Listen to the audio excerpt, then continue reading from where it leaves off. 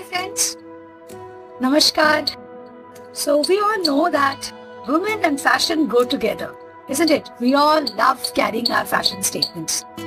Today I'm holding a beautiful handmade leather bag which is made in Kutch, Gujarat. It's a handmade bag. But I can't stop and admire some of the beautiful temple panels in the temples of Ekamra Kshetra. Now do you see this panel? So there are four ladies who are having their private time, a kitty party on the banks, probably of a river or a water body. Do you see this? And look at their beautiful fashion. The headgear, the dresses, and I can't stop but admire the fashion accessories they are carrying.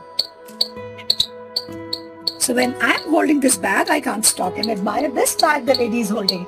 So this is a 7th century temple and imagine what vivid imaginations and ideas the sculptures must have had during that time or probably the empowered women during that time who were having a good friendly chit chat and that has been represented here. Now, can you identify which temple I'm talking about? You want to know more? Let us know. We would love to take you around in the Thank you.